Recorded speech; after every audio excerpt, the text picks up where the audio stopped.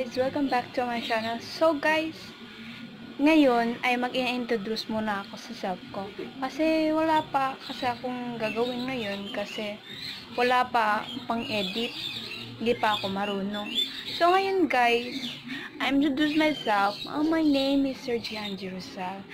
Pure Filipino po talaga ako. Kaya sabi-sabi nila na half Chinese daw. Pero hindi ako half Chinese. Pure Filipino ako. Sa Jungkyut lang talaga ako. Ganito. So guys. So guys, ang gagawin natin sa first vlog ko ay makeup tutorial. Kasi gusto ko yung mag gusto ko yung mag makeup. Tapos Nagaganda ako sa ibang vlogger. Ang galing na nila.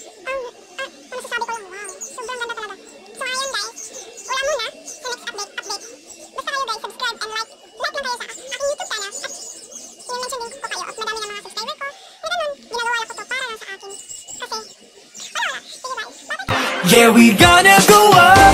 Ibibigay ko ang aking puso Sa pag-abot na pangarap